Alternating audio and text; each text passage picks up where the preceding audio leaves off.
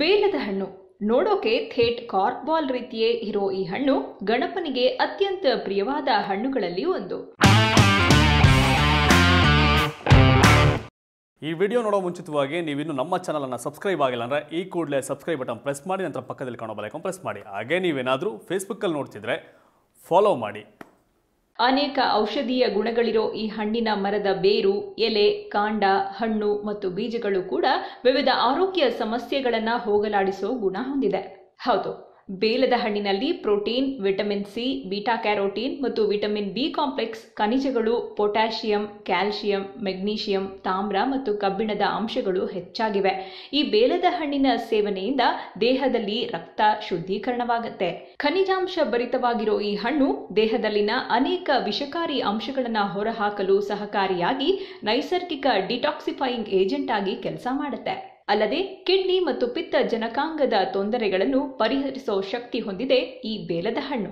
ಇನ್ನು ಅಸ್ತಮಾ, ನೆಗಡಿ, ಕೆಮ್ಮು ಮತ್ತು ಜ್ವರಕ್ಕೆ ಬೇಲದ ಹಣ್ಣು ಒಂದು ನೈಸರ್ಗಿಕ ಔಷಧ ಅಂದ್ರೆ ತಪ್ಪಾಗೋದಿಲ್ಲ. ಬೇಲದ ಹಣ್ಣಿನ ಸೇವನೆಯಿಂದ ಮುಖ್ಯವಾಗಿ ಬಾಣಂತಿಯರಿಗೆ ಅತ್ಯವಶ್ಯಕವಾದ ಪ್ರೊಲ್ಯಾಕ್ಟಿನ್ ಮತ್ತು ಕಾರ್ಟಿಕಾಯ್ಡ್ಗಳ ಉತ್ಪಾದನೆಯನ್ನ ಹೆಚ್ಚಾಗುವಂತೆ ಮಾಡುತ್ತೆ. ಇದರಿಂದ ಬಾಣಂತಿಯರಲ್ಲಿ ಎದೆ ಹಾಲಿನ ಗುಣಮಟ್ಟ ಸುಧಾರಿಸುತ್ತೆ.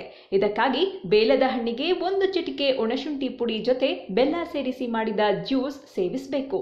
ಕೊಲೆಸ್ಟ್ರಾಲ್ ನಿಯಂತ್ರಿಸೋ ಈ ಬೇಲದ ಹಣ್ಣು ಆಂಟಿ ಆಕ್ಸಿಡೆಂಟ್ ಗುಣ ಹೊಂದಿದೆ. ಹೀಗಾಗಿ ಹೃದಯ ಸಂಬಂಧಿತ ಕಾಯಿಲೆ ಬರುವ ಸಾಧ್ಯತೆಯನ್ನು ಕಮ್ಮಿ ಮಾಡುತ್ತೆ.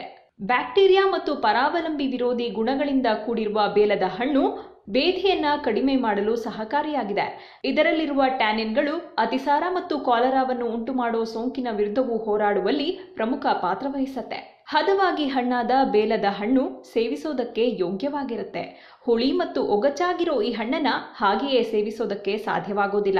ಹೀಗಾಗಿ ಬೇಲದ ಹಣ್ಣಿನಿಂದ ಜ್ಯೂಸ್ ತಯಾರಿಸಿಕೊಂಡು ಕುಡಿಬಹುದು. ಇನ್ನು ಬೇಲದ ಹಣ್ಣಿನ ತಿರುಳಿಗೆ ಅಷ್ಟೇ ಪ್ರಮಾಣದಲ್ಲಿ ಬೆಲ್ಲ ಹಾಕಿ ಬೆಲ್ಲ ಕರಗೋವರೆಗೂ ಒಲೆ ಮೇಲಿಟ್ಟರೆ ಹಲ್ವಾ ರೆಡಿಯಾಗತ್ತೆ.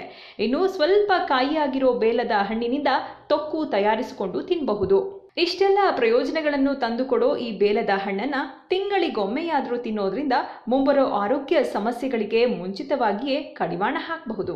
ಕರ್ನಾಟಕ ಟಿವಿ, ಇದು ಕನ್ನಡಿಗರ ಧ್ವನಿ.